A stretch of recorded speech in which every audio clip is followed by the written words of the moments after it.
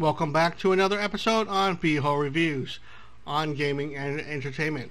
In this episode, we take a look at a short international series, Norsemen.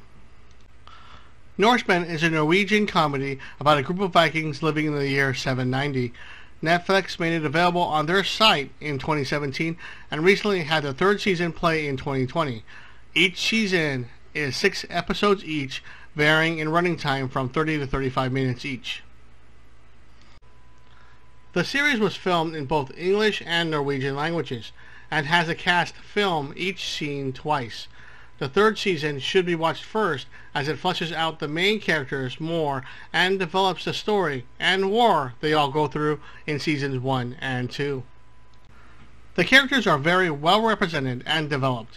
The acting is well done and gives comedic relief in almost every scene.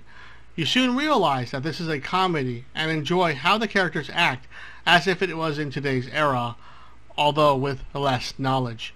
So many stereotypes we see are hinted at, especially the use of horns on their helmets, as is a fashion choice to stand out rather than using it in battle.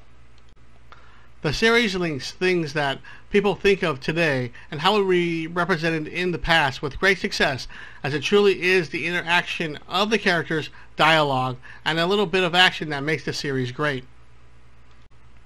The writing is excellent, especially in seasons 1 and 2. The third season is a prequel, but feels like it struggles at times moving the story along. Still a good season, but the plot isn't as strong as the first and second. The action is short and rare, but the explanation of said actions is so done well, the picture in your mind shocks the viewer as they are amazed that it could even be done.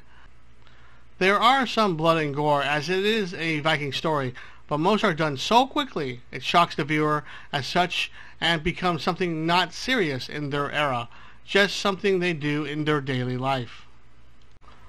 Overall, the series is well done and should be watched from seasons 3, 1, and 2 in that order if you never watched it before. Norseman gets an 8.0 out of 10 for its strong character interactions, acting, and comedic writing, especially in seasons 1 and 2. The third season still is good, but struggles to be as good as the other two. That's it for me on this episode in BHO Reviews. Please like and subscribe if you like my videos. BHO out and Greg, take us out of here. You can't walk around with horns on your helmet. It looks ridiculous. Fashion is about taking chances, daring to be bold. The helmet is a basic head cover, but when you add some other material, it becomes something else. It's no longer just a helmet. It is something bigger, it tells a story, and that is what fashion is all about.